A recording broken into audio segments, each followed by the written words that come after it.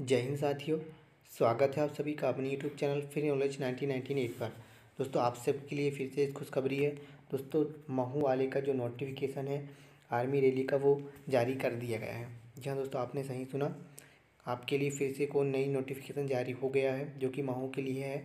दोस्तों, ये कोई फेक नोटिफिकेशन नहीं है। आपको स्क्रीन पर दिख रहा है। मैं इंडियन आर्मी की ऑफिशियली वेबसाइट पर हूँ, और जो इसका नोटिफिकेशन है आपको सबसे ऊपर दिख रहा होगा। A R O Mhow army requirement rally form तीस मार्च 2021 टू तीस मार्च 2021 तक।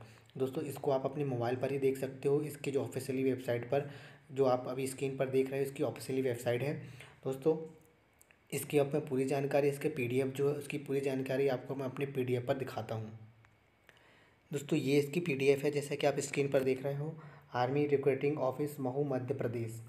Army recruitment rally ये इसका जो ग्राउंड का वेन्यू भी दे दिया गया है दोस्तों, देवास में, मध्य प्रदेश के देवास में है, खुशबाहू ठाकरे स्टेडियम पर। ये आप स्क्रीन पर देख रहे हैं और जो आपकी रैली डेट चलेगी, बीस मार्च से इकतीस मार्च के बीच तक आपकी रैली डेट चलने वाली है। स्टेडियम आपको दिए, दे दिया गया है, खुशबाहू ठाकरे स्टेडियम, देवास, मध्य प्रदेश, ये आपका स्टेडियम दिया गया है। दोस्तों, इसमें एक इम्पोर्टेंट चीज़ आपको बता दो कि इसमें कौन कौन से डिस्ट्रिक्ट भाग लेने वाले हैं। दोस्तों, इसमें आपका रहने वाला है आगर मालवा अलीराजपुर बरवानी बुरहानपुर, देवास, धार, इंदौर और झाबुआ, खंडवा, खरगोन, मंदसौर, नीमच, रतलाम शाजापुर उज्जैन एंड मध्य प्रदेश। ये इतने डिस्ट्रिक्ट आपके इसमें रहने वाले हैं। वहाँ की जो भर्ती है, उसमें इतने डिस्ट्रिक्ट को लिया गया है। दोस्तों, जो आपका स्टेडियम मैंने आपको बताया था खुशबाहू ठाकरे स्टेडियम देवास, मध्य प्रदेश पर है और जो आपकी रैली भर्ती चलेगी तीस मार्च से बीस मार्च तक तीस मार्च तक आपकी चलने वाली है। दोस्तों, इसकी जो रजिस्ट्रेशन डेट रहेगी, वो आपकी रहेगी छः मार्च से पंद्रह मार्च तक इसकी रजिस्ट्रेशन डेट चलने वाली है। ठीक है दोस्तों तो और जो आपका एडमिट कार्ड है, वो भर्ती के पाँच दस दिन पहले ही आपका जारी कर दिया जाएगा। अब दोस्तों, इसमें बात कर लेता हूँ कौन कौन सी पोस्ट के लिए आपके लिए वैकेंसी निकली हुई है। तो दोस्तों, सबसे पहले इसमें है आपकी जनरल सोल्जर जनरल ड्यूटी के लिए। दोस्तों, इसमें आपकी जो एज एज का क्राइटेरिया रखा गया है, साढ़े सत्रह से इक्कीस ईयर तक रखा गया है। और जो आपकी जो एज काउंट की जाएगी, एक अक्टूबर उन्नीस सौ निन्यानवे से दो हज़ार तीन के बीच काउंट की जाएगी। और इसमें जो आपकी हाइट रहने वाली एक सौ अड़सठ सेंटीमीटर रहने वाली, और जो चेस्ट और जो वेट रहने वाला वाला पचास के जी रहने वाला है। और जो आपका चेस्ट रहेगा seventy seven plus five impression रहेगा। सभी ऑल पोस्ट में यही रहेगा दोस्तों। ठीक है? अब इसमें सेकंड है दोस्तों। Soldier general duty scheduled tribe candidate के लिए, है ना? इसमें भी वही क्राइटेरिया रखा गया है। बस इसमें हाइट थोड़ी सी छोड़ दी गई है। इसमें जो हाइट रहेगी, एक सौ बासठ सेंटीमीटर रहेगी और आपका जो वेट रहेगा वो अड़तालीस के जी रहेगी। इसमें आपको छोड़ दिया गया है।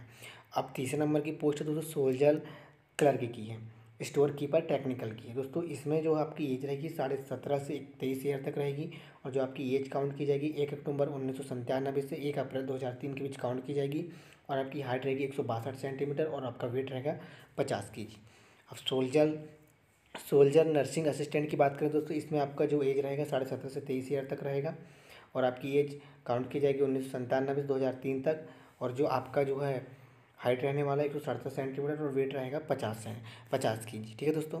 अब टेक्निकल की बात करें, सोल्जर टेक्निकल इसकी एग्जामिनर की बात करें, इसे एग्जामिनर पोस्ट के लिए भी निकला हुआ है दोस्तों, सत्रह से तेईस ईयर तक आपकी एज होनी चाहिए। उन्नीस सौ संतानवे से दो हज़ार तीन के बीच में आपकी जो एज काउंट की जाएगी। एक सौ सड़सठ हाइट रहनी चाहिए और पचास के जी आपका वाइट होना चाहिए। सोल्जर ट्रेडमैन की बात करें दोस्तों, ये अभी एट पास के लिए एट पास के लिए आपकी जो डेट ऑफ़ बर्थ रहेगी साढ़े सत्रह से तेईस ईयर तक रहेगी। आई, आपकी एज काउंट की जाएगी उन्नीस सौ संतानवे दो हज़ार बीस के। आपकी एज काउंट की जाएगी और जो हाइट रहेगी वो अड़सठ सेंटीमीटर वेट अड़तालीस के जी रहेगी। इसमें आपको छूट दिया गया है सोल्जर ट्रेडमैन में। और सेकंड भर्ती आई है सोल्जर ट्रेडमैन की टेंथ पास से दोस्तों। इसमें भी आपका एज सेम रहेगा वेट भी और हाइट भी सेम रहेगा। ठीक है दोस्तों?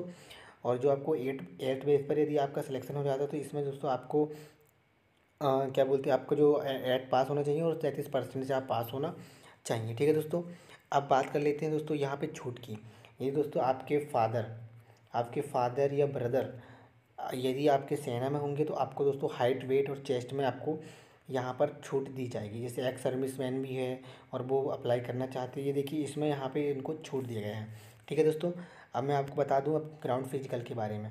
आपका जो ग्राउंड रहेगा दोस्तों, सोलह सौ वन पॉइंट सिक्स किलोमीटर रहने वाला है। यदि दोस्तों आप फाइव मिनट थर्टी सेकंड में यदि पार कर ले तो आपको फ़र्स्ट ग्रुप में रखा जाएगा और साठ अंक दिए जाएँगे, ठीक है दोस्तों?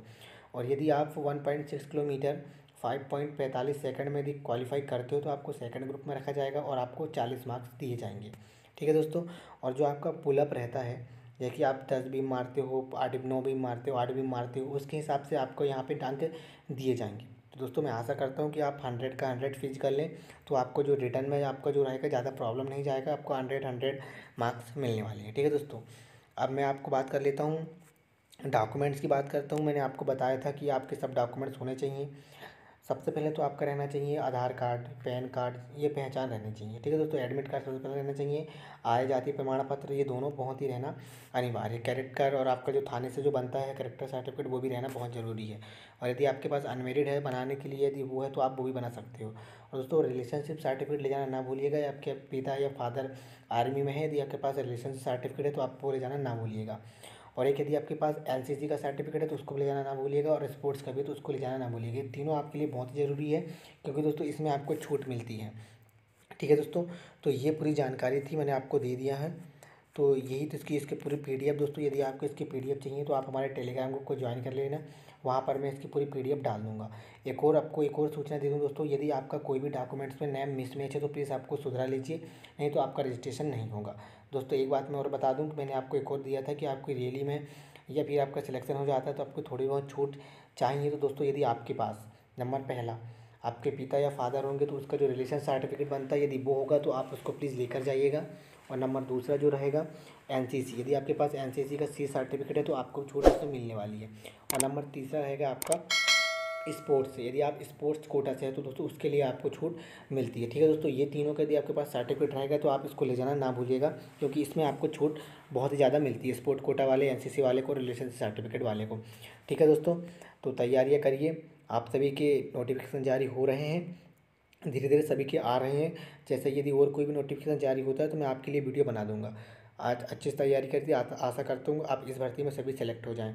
ठीक है दोस्तों, मैं जल्दी पेपर भी लेकर आऊँगा इसके, ओरिजिनल पेपर जो है, अभी पिछले बार जो भर्ती में हुई थे, उसके पेपर का जो एग्ज़ाम हुआ था, उसके पेपर मैं आपके जल्दी लेकर आने वाला हूँ और आपकी तैयारियाँ भी इस चैनल पर करवाऊँगा। ठीक है दोस्तों, जय हिंद।